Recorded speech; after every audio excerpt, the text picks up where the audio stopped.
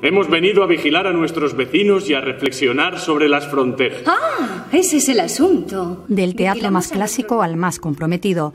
Esa ha sido la trayectoria de Histrión Teatro, una de las compañías de referencia en Andalucía con cerca de una veintena de espectáculos producidos desde Granada. ¡Espera! ¿Qué? No es más que un niño. ¡Pero nada empaña los míos! ¡Suplico, George! ¡No dispares!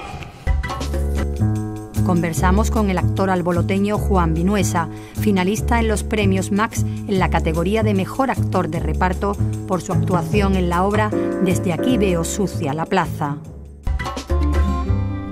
La poeta jiennense Isabel Tejada nos invita a los sitios conocidos, su última obra donde nos muestra las diferentes caras de su yo a modo de salvación. Escribir para salvarme. El peso. Escribir para liberarme de mi propio peso, como una forma de mantener la cordura ante este abismo que soy yo. Portabella, productor de Buñuel y cineasta de culto, retrata en el nuevo rapto de Europa las movilizaciones sociales en otro ejercicio de cine experimental.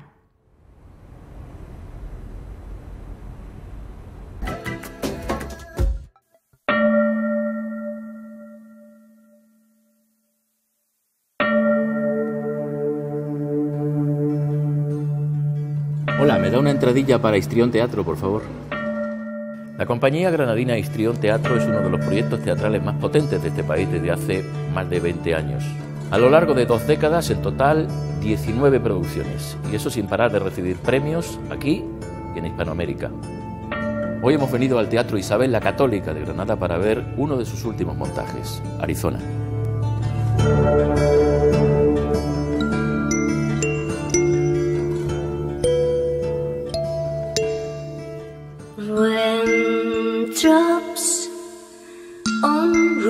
Roses and whiskers on kitten. ¿Qué hemos venido a hacer aquí, George? Hemos venido a defender este país. ¿Lo estamos defendiendo? De ellos, ¿Ellos? nuestros vecinos.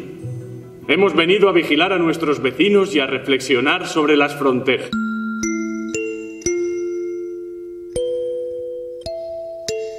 Arizona, el último trabajo de la compañía granadina Histrión, está inspirado en un proyecto polémico, el llamado Proyecto Minuteman. Los atentados del 11 de septiembre sembraron los Estados Unidos de leyes contra la inmigración ilegal. Minuteman, un término de los tiempos de las primeras colonias británicas, eran los ejércitos civiles dispuestos a defender las tierras apropiadas durante la conquista del oeste. Minuteman, ahora en la frontera de México.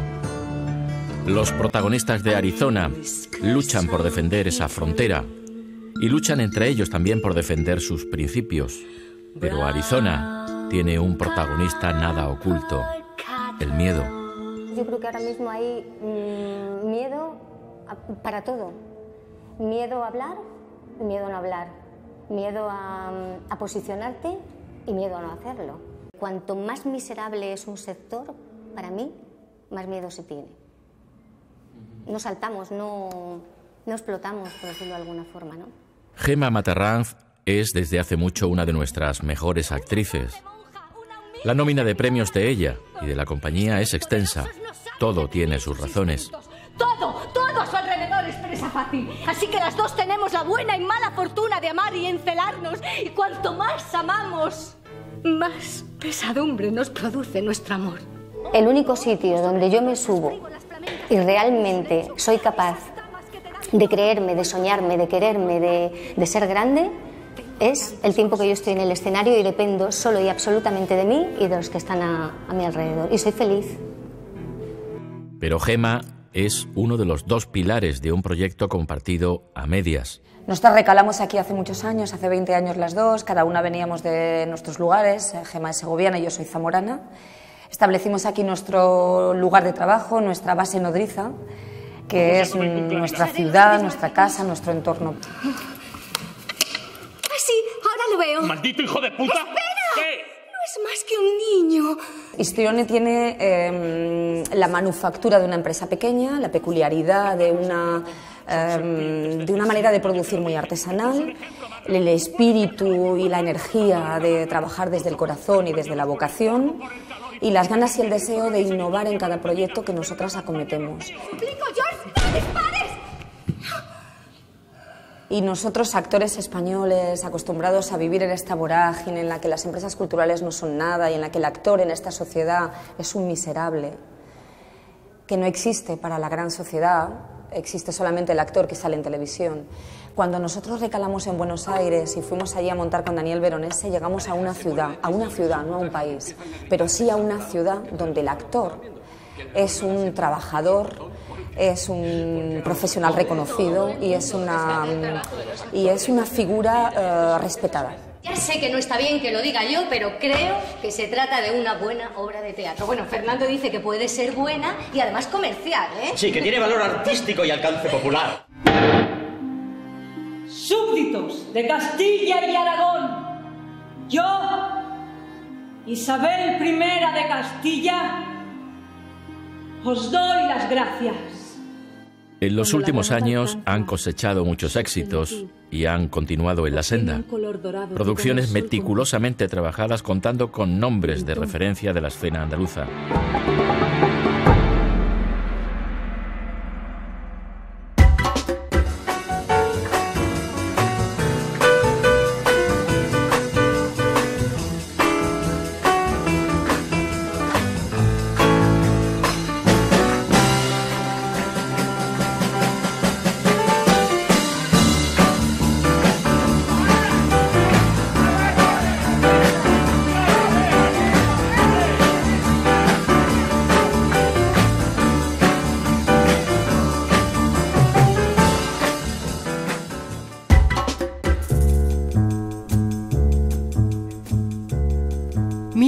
Quiere mirar, lo que merece ser mirado, muta por obligación, se ausenta cuando le apetece y además sabe conjugar el verbo trabajar todos los días. ¿Por qué?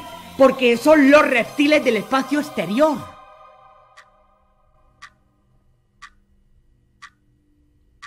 También podemos meter una celtíbera para darle como diversidad cultural al proyecto. Sabes que esas cosas venden. Eh, Juan, cuéntame un poquito, ¿cuesta mucho llamar la atención eh, que se fijen en ti en este negocio? Nuestro objetivo no debe ser ¿no? El, llamar la atención, pero es cierto que la difusión de tu trabajo es lo que a veces llama a otros trabajos, con lo cual a veces es complicado. Creo que el único escudo que te queda ante la industria es enamorarte de esto como arte y tener paciencia, porque hace falta a veces un golpe de suerte, te mete dentro del entramado y empieza a ir de un trabajo a otro, vas teniendo suerte, pero eso también se puede acabar. Cae con mucha sorpresa. llevarse el premio o no, estar nominado o no, no es lo más importante. Lo más importante, por supuesto, es seguir trabajando, pero sí que todo el cariño que se recibe, todo el cariño que, por ejemplo, hemos recibido la compañía en Club Caníbal, o en este caso ahora yo con la nominación, ayuda a seguir adelante. Claro, no lo haga más difícil. Él se resiste, se resiste, Pedro, no busca estrellas fugaces, coño. Mira, chicos, ya está, ¿eh? ¿Tú crees que el teatro va encontrando ya otra vez su sitio? ¿Empieza otra vez a sentar bases? De unos años para acá ha habido un fenómeno que se llama el teatro off en Madrid, pero es que ha pasado en muchos más sitios. Se habla de Madrid, pero ojo al movimiento teatral que ha habido en este off en Málaga, en Sevilla, a salas que se están abriendo en Granada, también en nuestra tierra. Pues este movimiento que ha sido más potente sobre todo en 2009, 2010, ahora se está volviendo a poner en duda para ver cómo se trabaja ahí, en qué condiciones, qué público. Entonces creo que el teatro siempre se va a ir poniendo en duda a sí mismo y ojo, creo que es lo que debe pasar. Soy soldado del bando nacional. Llevo siete años y dos meses sin pegar un tiro, sin dar un guantazo, ni pasar por detrás.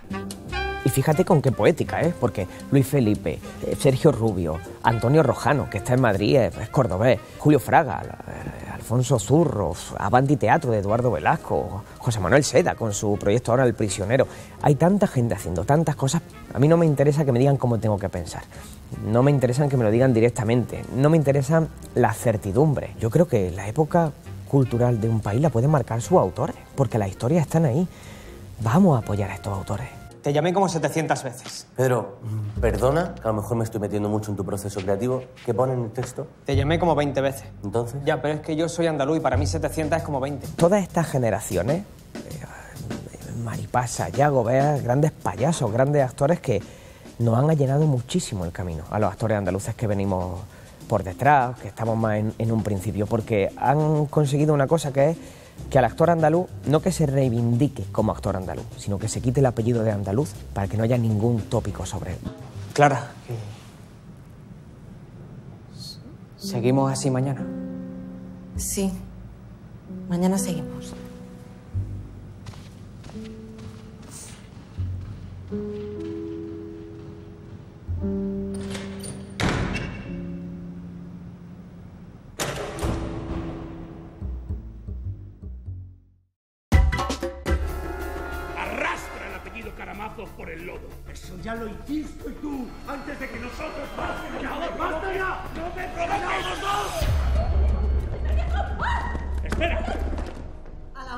Teniente. ¿Eres Lucy? ¿Cómo sabes mi nombre? Normas y regulaciones. Principios. ¿Nosotros? Nosotros sí tenemos principios. ¿Pero tú cuántos años tienes, chaval? Escúchame, si sobrevives a esta guerra, y te aseguro que ese es mi deseo, esto va a tener un sentido. ¿El qué va a tener un sentido? Esto, este encuentro, que tú y yo nos hayamos encontrado aquí esta madrugada. ¡El doctor! ¡Que venga No voy a desaparecer del todo. Nadie puede desaparecer del todo.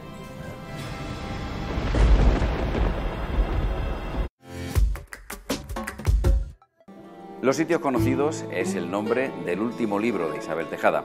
Poeta, a veces narradora, como a ella le gusta definirse, se trata de un conjunto de textos en los que nos cuenta qué siente y cómo siente.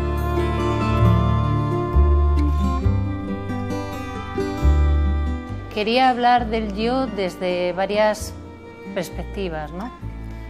Eh, la primera parte y la última, el peso y la grieta, eh, hablan del yo, ¿no? hablan de mí, pero desde una forma distinta, opuesta. En la primera los poemas son más breves, más certeros. Que nadie se dé por aludido del ánimo leso, de las líneas de corte, del abismo, de la acumulación, del llanto. Yo soy lo que queda. Si lograse un poco de amor que alterara mi ruta, rehabilitarme en su tutela o bajar la guardia, una resistencia menos, una resistencia más cerca, dejar de repetirme, no soy de aquí. La segunda parte habla de, la relación con el otro. eh, en cuanto al sexo y al amor, ¿no? Pero también es una manera de hablar de mí desde otro punto de vista, ¿no?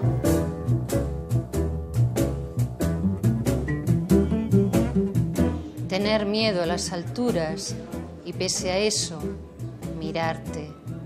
Coincidir en tus dos ojos de fuera con tantas cosas por hacer, como por ejemplo quedarse enganchada en su anzuelo y rogar que no vuelvas a tirarme al mar. Yo escribo por dos razones fundamentales. La primera, mm, por una motivación totalmente egoísta.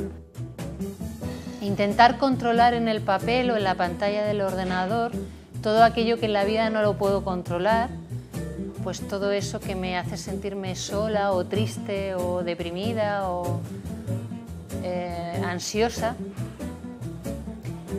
Mm, Tener una, una falsa ilusión de control ¿no? al manipularlo. Y luego el paso siguiente es crear algo mm, bello de todo eso, ¿no? El despertar, el amor apenas queda. Ninguno de nosotros está hecho a la textura del frío. Nuestros ojos se cruzan, se leen, o eso pretenden. Los escritores tenemos que tomar conciencia de que las lecturas son un acto comunicativo y de que en ese momento nosotros ya no somos escritores, sino comunicadores y que mm, recitar eh, la oralidad es importante a la hora de generar una mayor, un mayor poder de comprensión en el público. Escribir para salvarme el peso. Escribir para liberarme de mi propio peso, como una forma de mantener la cordura ante este abismo que soy yo. Este yo tengo la necesidad de compartir eso que he creado, de que llegue al, al lector, ¿no? de que alguien en, en, en otra parte del mundo, cuando lea un poema mío, diga, hay alguien que piensa como yo, hay alguien que siente como yo, no estoy solo. Escribir, hacer algo hermoso con la miseria, hacer de mí algo aprovechable cuestionándome mis propias leyes universales de autoasco, confeccionadas minuciosamente con una dedicación y delicadeza exquisitas.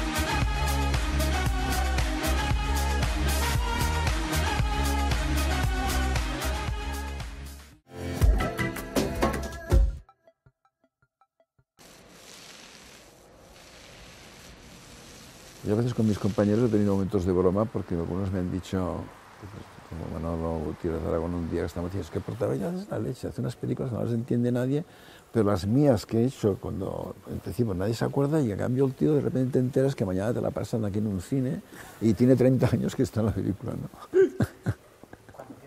A partir del 15M, yo creo, se rompió con ese relato en el que la responsabilidad era individual. Este desorden es fantástico. La fuerza de los ciudadanos han generado este desorden, que es positivo, porque estamos hablando de un, de un desorden que hasta ahora ha impedido las reformas de la Constitución y el trasvase de un elemento democrático en la mayor participación de minorías que estaban ausentes. Lo que es intolerable es que tanto los intereses, sobre todo, pero en los políticos, la marginación que se hace de los científicos y de los intelectuales y artistas, por ejemplo. ¿Por qué no se someten? No, pues no se someten, es que no se someten. Entonces esto, esto es un escándalo. Las tecnologías están aportando lo que aportan y lo que está clarísimo que el reparto del trabajo ya es imprescindible porque es imposible materialmente que todos trabajemos. Esto viene desde Keynes, que digo que en el 2030 podríamos trabajar nada más 15 horas a la semana. Claro, en un momento de una especie de psicopatía lanzada, sobre todo en los países desarrollados, en cuanto al consumo como nivel de vida, tu crecimiento y tu fuerza social, que es un disparate monumental, si tú tienes un coche, tengo dos, ¿no? y una residencia pues de tres, que es un disparate. Hemos de pasar a la calidad de vida. El resultado de mi caligrafía es la ruptura en seco de los cánones de lo que entendemos por cine, que es Aristóteles, que es el, que le ha dado al cine el éxito mundial del siglo XX más importante de masas. Es planteamiento, desarrollo y final, clausura. Aristóteles lo definió, her- herramienta perfecta. ¿Clausura para qué? Para que usted no vaya a su casa y mate a alguien o yo qué sé, o se suicide, ¿no? ¿Es el cabreo lo que te lleva a hacer este segundo informe? Es la curiosidad. Y pasas de cabreos a momentos eufóricos.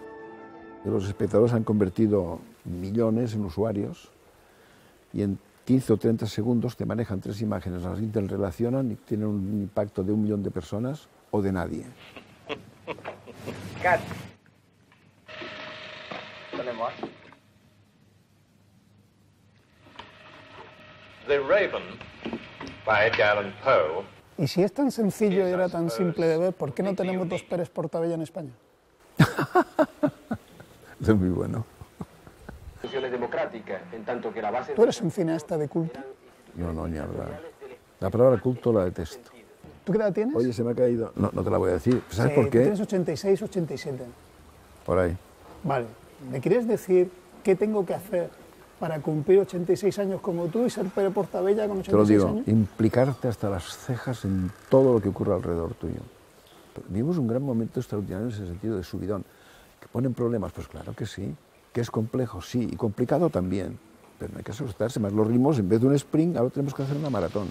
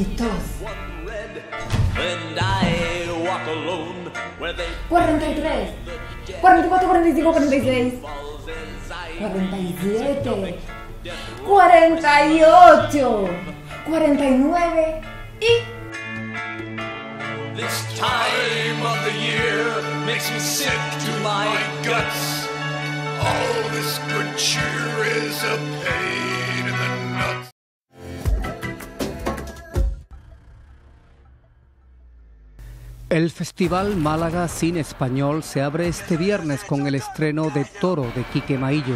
Está rodada casi por entero entre Málaga y Almería y cuenta con la ayuda de Canal Sur y la participación de la compañía andaluza Maestranza Film. Mario Casas, Luis Tosar, José Sacristán e Ingrid García Johnson protagonizan este vertiginoso largometraje con aroma de moderno cine negro. Sí, es una película muy noir, muy tiene algunos toques de ese cine subcoreano que se ha puesto ah, de moda, eh, entre una cierta cinefilia y una forma de ver el thriller muy negro. No, es un thriller, pero es muy, muy, muy distinto a lo que se suele hacer aquí en España. Una película va a llamar la atención por eso, porque es distinta. Ahora que estamos empezando a recuperar ese público supuestamente perdido del cine español, pues eh, nuestra intención es seguir manteniéndolo vivo. Y esta es una película de acción, un thriller muy espectacular, con los dos, dos de los grandes actores eh, del blockbuster español, que son Mario Casas y Luis Tosar. Serán tres días de bombardeo concentrados en una sola tarde. La actriz sevillana Ingrid García Johnson repite en Guernica dentro de un reparto internacional con Jad Davenport, Jane Darcy y María Valverde. Está coproducida por Pecado Film, empresa malagueña de José Alba y Carlos Clavijo, que también firma el guion de esta película que relata las horas previas al bombardeo de esta localidad vasca en la guerra civil. El objetivo es contar lo que pasó desde un punto de vista serio, eh, ficcionado, no es un biopic, no es una biografía de nadie y no es una recreación literal de los acontecimientos, pero lo que queríamos era transmitir la sensación de, de lo que supone una guerra o un ataque como este. ¿no? Guernica se rueda como en, nueve localizaciones diferentes, en nueve localizaciones cada una a 150 kilómetros de la otra, y, y rodando en escenarios naturales, con gente, con coches, que tienes que cortar calle, que tienes que escombrar, que hay explosiones, que mm, efectos especiales eh, físicos, los actores se tienen que poner un cable para tirar de ellos, bueno, hay mm, mil incon- no inconvenientes, pero sí complejidades, ¿no? Desde el principio pe- queríamos rodarla en inglés, o mayoritariamente en inglés, como la hemos rodado, eh, y queríamos que el inglés fuera un lenguaje natural en la película. Quiero decir que los que hablan inglés hablan inglés porque en ese momento hablaban inglés Eh, la película está hecha en cuatro idiomas, en inglés, castellano, euskera y alemán. Los nazis hablan alemán y los españoles hablan, pues depende con quién hablen, un día hablan en euskera, castellano o, o inglés. Toro y Guernica son dos de las nueve películas cofinanciadas por Canal Sur que han sido seleccionadas este año en diversas sesiones del decimonoveno Festival de Cine Español de Málaga. El dinero de los japoneses. ¿Qué vais a hacer con eso? Cortar un bonsai. Un bonsai. ¡Te lo consigo, te lo consigo! quem quer.